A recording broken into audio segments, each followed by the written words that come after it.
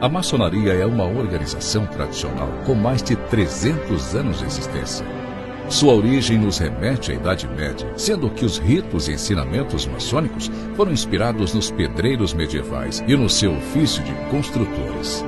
Desde seus primórdios, a maçonaria prega o aperfeiçoamento humano, tanto moral, intelectual como espiritual. Dentre os seus princípios, destacamos liberdade, igualdade e fraternidade, postos em prática no dia a dia da instituição.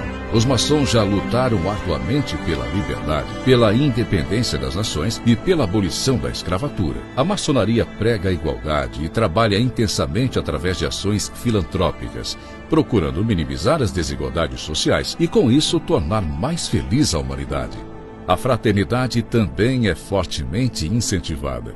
Tanto é que os maçons tratam uns dos outros como irmãos. Além disso, a maçonaria investe na participação familiar e social, através das ordens paramaçônicas, como Demolei, Garotas do Arco-Íris, Filhas de Jó e Estrela do Oriente, além das tradicionais confraternizações. Com estes princípios e práticas, a maçonaria atraiu grandes homens, importantes personagens históricos e construtores sociais já passaram pelas cerimônias de iniciação. Infelizmente, algumas pessoas se aproveitam da boa reputação histórica da maçonaria para promover golpes, espalhar fake news ou mesmo se passar por maçom. Vale alertar que a maçonaria tradicional e internacionalmente respeitada exige que haja regularidade e reconhecimento. Para tanto, uma loja maçônica precisa estar ligada a uma potência maçônica. No caso do Brasil, as potências maçônicas regulares e reconhecidas nacional e internacionalmente são as grandes lojas, confederadas à CMSB, os grandes orientes estaduais, confederados à Comab, e o Grande Oriente do Brasil, conhecido como GOB.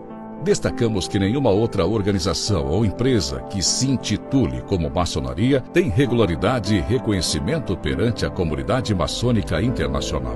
Não existe maçonaria virtual, instantânea ou por correspondência. Os preciosos ensinamentos centenários são transmitidos presencialmente e precisam de tempo para serem estudados e assimilados pelos aprendizes, companheiros e mestres. Por isso, alertamos: caso você tenha sido convidado para ingressar na maçonaria, certifique-se primeiro de não estar sendo enganado.